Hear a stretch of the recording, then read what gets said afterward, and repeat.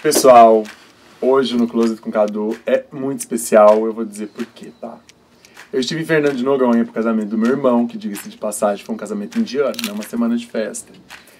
E aí, sabe quando assim Deus parece que vai colocando as pessoas no seu caminho? E aí eu tive o prazer de conhecer esse cara que assim, o meu pai ficou apaixonado, a minha mãe ficou apaixonada, minha irmã ficou, meu irmão, todo mundo e parece que a gente se conhece assim há muito tempo porque ele tem um coração, ele é de uma generosidade, de uma alma. No closet com Cadu. Que é o Paulinho Vilhena. que é o Paulinho Vilhena, que assim, hum, eu não sei, eu não sei, eu não sei explicar o que é você.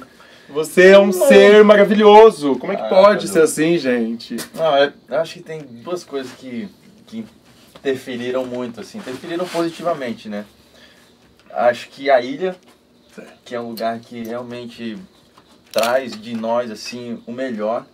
Que lá você chega e, e, e acho que tudo que a gente às vezes carrega no dia a dia, estando nas grandes cidades, trabalhando, que são as máscaras, né? As armas, né? As a armas. desarma. A gente chegar ali e o mais importante e o, o supremo é a natureza, é a ilha, é Fernando de Noronha.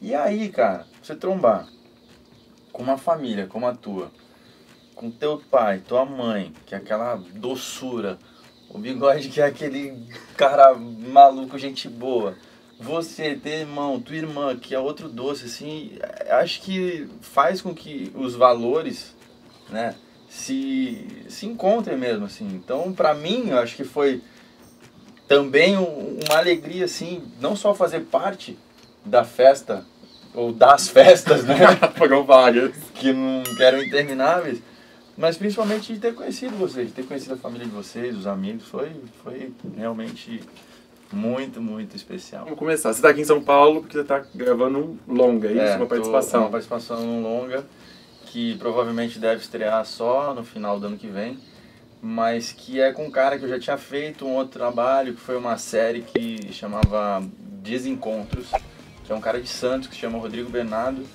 E ele comprou os direitos de um livro e adaptou assim brilhantemente. Acho que é um roteiro muito, muito interessante, que tem como personagem principal o, o quem faz o personagem principal é o Matheus Solano. E é uma história que, que acho que, que vai, vai pegar assim, o público. Acho que é uma história diferente do que a gente assiste hoje nos cinemas, que a gente tem de opções, né? No cinema brasileiro. Uhum. Acho que é importante variar, sair um pouco da, da, da mesmice, Da né? zona de conforto, da zona né? de conforto. Acho que a gente tem mais é que se arriscar mesmo e trazer coisas novas. Por falar também em sair da zona de conforto, Paulinho, você fez agora o seu último papel na televisão brilhantemente, Ah, né? obrigado. Que assim, acho que todo mundo ficou emocionado e acho que as pessoas também não esperavam é, que você fosse ser acima da média Ah. num papel como você foi com o Império, com o seu personagem que é Com Salvador. esquizofrênico, Salvador, né? É. Foi um desafio pra você o papel também. Foi, foi. Acho que a gente, na verdade, espera uma oportunidade como essa durante, talvez, a sua trajetória inteira artística, né? Porque é uma oportunidade que, que é deliciosa, assim, na, manufa na manufatura do, do, da construção do personagem. E quando aconteceu, foi muito de repente, como na maioria das vezes é na televisão. E eu me, me preocupei muito em, em levar muito a sério a, a informação que, que trazia aquele personagem, que era uma doença, e essa doença é uma doença de, de, de uma responsabilidade social, assim, ela existe, está em muitas casas, em muitos lugares, e as pessoas às vezes não sabem do que se trata. Às vezes não existe um tratamento adequado, a política de saúde pública no Brasil é esse Um desastre. desastre. E aí eu fui muito focado em, em, em retratar esse personagem verdadeiramente para que de alguma forma também conseguisse alertar as pessoas e, e levar uma informação que não só a história de um personagem, sim, a questão da saúde pública. E isso me fez muito bem porque fez eu mergulhar realmente no universo e pesquisar profundamente. E aí acho que naturalmente a coisa vem e. E acontece, acontecem. né? Mas, bom, hoje eu tô aqui assim, ó, meio, Meio Noronha, meio meio, surf, Noronha, meio Noronha, meio tudo mais. pra gente falar exatamente de moda masculina e vamos começar a falar do seu estilo, Paulinho, que você é muito estiloso, cara. Imagina, eu. Olha Entendeu? você. Ele chegou aqui todo estiloso, tipo, você já me senti, já fiz assim, quá, quá, Até quá, parece, né. Cadu? Sabe, tipo, já. Você é o cara que as pessoas olham, se você é a referência de, de moda masculina, assim. De... Imagina. É que eu, na verdade, eu, eu adoro. Eu te vejo assim, eu vejo pessoas que têm é, bom gosto, eu falo, putz, do caralho, acho lindo, acho. É que eu às vezes não, não tenho a paciência ou, ou a- a- até mesmo o hábito de, de ir a lojas ou de garimpar em brechós. Às vezes acontece, por exemplo, eu fui pro Japão uma vez trabalhar. Cadu, eu fiquei louco, assim. Eu Você foi parecia- pra Tóquio? Fui pra É Tóquio. fantástico também já. Eu parecia mulher, cara. Juro por Deus. Eu passava nas lojas, eu ficava alucinado, eu pegava aqui, eu já, eu juro, eu, foi o lugar que eu mais consumi, que eu não sou de fato um cara consumista, assim, de, Aham. de ir à loja, comprar. Eu, eu, assim, eu vejo uma coisa, eu pego, aí passa um tempo, eu entro numa loja, pego outra coisa. Não tenho um, um hábito de comprar, de consumir a moda, inclusive. Acho que eu gosto, acho legal, acho é, muito importante para o cenário nacional, inclusive, mas não é, não é o meu hábito, assim, eu não tenho esse hábito. Mas no Japão eu perdi a linha. É, lá é, lá é muito linha, incrível. Assim, tipo, loucura, loucura mesmo. Mas mesmo você falando aí esse texto todo, é você é um texto. cara super estiloso. Tipo assim, ele chegou aqui, é, a hora que eu abri a porta, ele ainda tava com uma jaqueta preta meio de nylon assim por cima, com a camisa só abotoada daqui pra baixo, entendeu? Todo, todo um, um- Agora eu, eu me montei uma pra- história. Vou fazer tudo Mas como, como que, que- como que você é, constrói assim seu estilo? Da onde você pega é, referências? É muito do seu universo do surf, né? Tem, com certeza. Eu acho que está sempre muito atrelado ao, ao conforto, assim. A coisa de você ter sempre uma bermuda na mochila, tipo, saiu do mar, troca. Da praticidade também. Ô, ô, Paulinho, e deixa eu te fazer uma outra pergunta. Fica à vontade. Na, tem alguma coisa que você não acha legal, assim, na moda masculina? Ou você acha que, dependendo de- do estilo, dá pra, Eu acho que ela. dá pra fazer tudo, pode usar tudo? Eu acho que, assim, o, o bom senso é sempre o, o melhor dos, dos caminhos, assim, né? Acho que em relação à ocasião, em relação ao seu estilo, não adianta também, sei lá, você ter um estilo e, e você querer se apropriar de coisas que, que talvez não caibam a você. Ou às vezes você pode chegar e falar assim, ah, vou variar, vou enlouquecer. Você que trabalha com isso, sabe melhor do que eu que é possível você estar ali num, num- numa ocasião super social, talvez com uma peça que tenha um, um, um quê diferente, assim, um sapato, ou mesmo um Fazer uma calça. mistura ali que deixa Consegui. um twist mais interessante, até que quebra um pouco a formalidade. Exato. Qual que tá aí? Você já deu alguma escorregada, assim? Ah, provavelmente. de, várias. de alguma festa, você fala, puta, eu vou fazer isso, e depois você olhou e falou, cara, foi, Foi ruim. foi ruim, deu ruim. Olha, eu vou te dizer, eu já fiz muita coisa, Cadu. Eu já fiz assim, tipo, de. Eu, eu, tinha uma época que eu tinha uma saia que eu amava. Uma saia jeans comprida, assim. E aí eu fui no, tipo, no aniversário da Luana.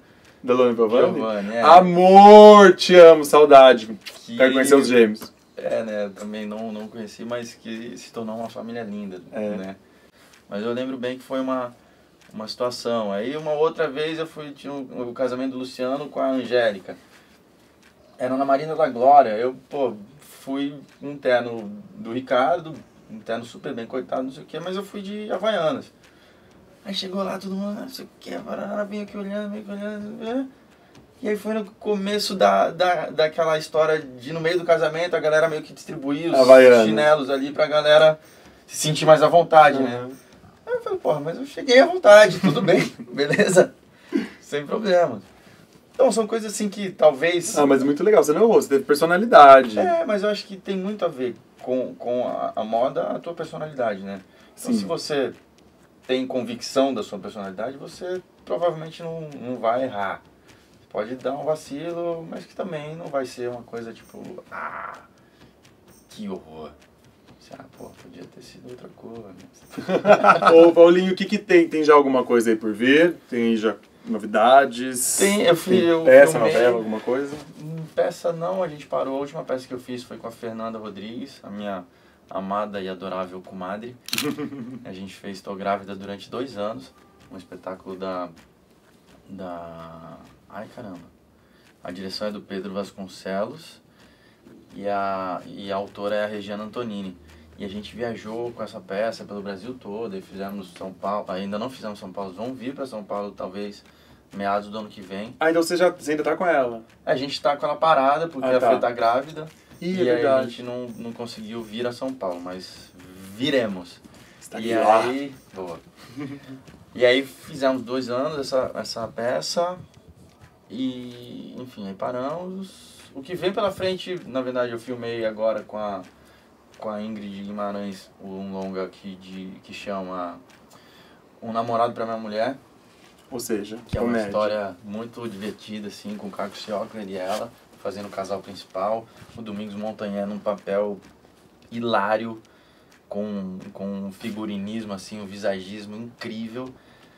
É, que acho que também sai um pouco dessa, dessa, desse lugar em comum, desse lugar comum das comédias. Acho que traz uma, uma comédia um pouco mais à frente, com um pouco mais de, de elaboração que é importante, muito importante, eu acho. É um roteiro argentino que foi filmado na China também. E aí a gente fez a versão brasileira. Acho que estreia meados do ano que vem, né? Massa. 2016. Estou fazendo esse agora, que é uma participação também nesse longa do, do Rodrigo Bernardo, que provavelmente é final, Final do ano que vem, que vem. que é Talvez uma História de Amor, o nome do filme. Talvez. E ano que vem, janeiro, começo de fevereiro, eu filmo com a Laís Bodans, que é a minha, a minha cineasta do coração e, e minha grande parceira em, em outros projetos. É um longa que, a princípio, tem duas possibilidades de nomes, ou Como Nossos Pais, ou Rosa. Que também é um filme lindo, acho que a Laís tem um, enfim, uma cinematografia poucos Olhar longas, mas todos eles de um impacto assim eh, emotivo muito grande que trata realmente do ser humano, das questões humanas ali, das relações homem mulher, questões de idade, família. Eu adoro quando tem é, novelas, filmes, o que quer que seja, que tem essas relações mais próximas da realidade, Sim. né? Com questiona questionamentos de verdade, né? Que, que que, é. que pode ser comum para todo mundo. A função acho que da né, das artes é um pouco também tocar nesses assuntos, né? Claro, dá também tirar um pouco do, do real, entrar um pouco no lúdico, acho que, que é importante isso. Acho que o Luiz Fernando Carvalho agora vem com, a, com essa novela das nove, a próxima, do, do Benedito, acho que ele vai O trazer Chico, um, o velho Chico. é, o velho Chico. O velho Chico. É, a Fabiola vai estar, né? Ela É. contou lá em Noronha. Acho que- Fabiola, você também vai vir aqui, viu? Aí Vou te ligar. minha amiga de Noronha. É, uma querida, né? Muito Ela bom. é demais.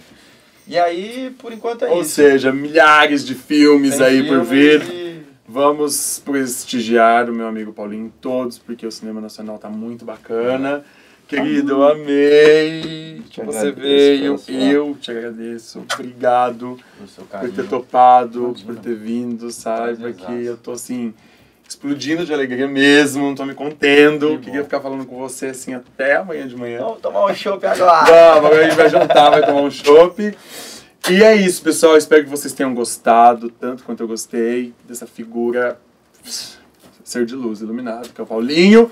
Então vocês já sabem, né? Toda aquela dinâmica, inscreva-se no canal, pode deixar perguntas, sugestões, porque agora eu tenho ele no meu WhatsApp, ó. Ó, eu mando, já pego lá, já as respostas resposta. e coloco aqui no canal do YouTube. Não perca o próximo no Close Cadu, é isso que agora eu vou Fazer um meu amigo. Ah, vamos fazer, vamos fazer, claro.